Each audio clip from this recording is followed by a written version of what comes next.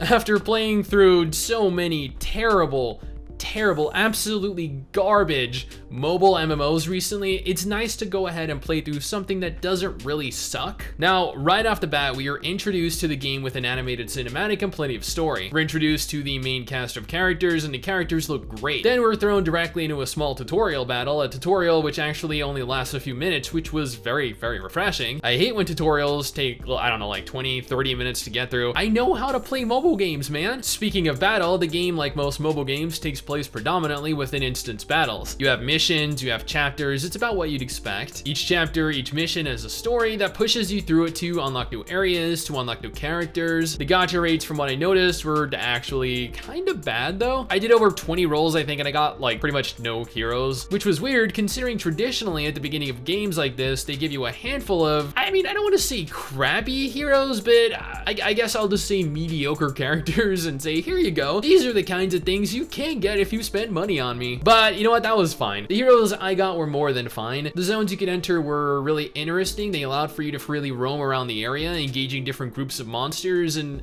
well, you know what, speaking of the combat, I mean, the combat itself isn't bad. It isn't as flashy as I'm used to seeing in more modern mobile games, but your abilities still felt like they had a bit of substance. I'm a fan of both turn-based and action combat in mobile games, but at the same time, Grand Alliance didn't actually allow for me to fight myself. Like, instead, I would direct my heroes around the map and I would cycle through their available abilities. I couldn't actually attack outside of a couple different abilities per character, and interestingly enough, the characters themselves did not have unique abilities. You had a selection of abilities that you could equip on your heroes before deploying them into battle. This made heroes feel, I don't know, less like actual individuals, I guess? Since I had several characters all with the same skills, granted, sure, that made it easier for me to find the perfect team as I wasn't really limited by OP heroes per se, but it made collecting them feel pointless outside of their space statistical advantages. Graphically, the game looked pretty good. The environments looked good, the character models, both in-game and during the story, were pretty high quality. They're very reminiscent of many games that I've seen in the past, so they didn't really stand out, but the females were as hot as ever. I think the only issue I had with the game was the fact that it heavily encouraged me to autoplay it. Literally, as soon as I entered the game, it was like, this is how you autoplay, followed by autoplay is the best way to play the game. I'm just saying, you should totally utilize the autoplay feature. So I let it autoplay for me, and it ended up enjoying it a lot less than I would have otherwise. That's one of the things that I really enjoyed about Guardian Tales, the fact that there was just no autoplay when first running through the game in the areas. Overall, I found that Grand Alliance was a, a solid game. Nothing groundbreaking, nothing special, but it both looked and played pretty well. Well enough where I could definitely consider including it in a top mobile RPGs list, but at the same time, I don't believe it is good enough to warrant any additional time spent in the game for me. But this is my opinion, my impressions of the game. What do you guys think? Have you played it? What do you guys think? Do you want to play it? Let me know down in the comments below and let's talk about it. Anyway, guys, that is it for me. Thanks for watching. Hopefully you enjoyed the video. Don't forget to subscribe for more content like this and I'll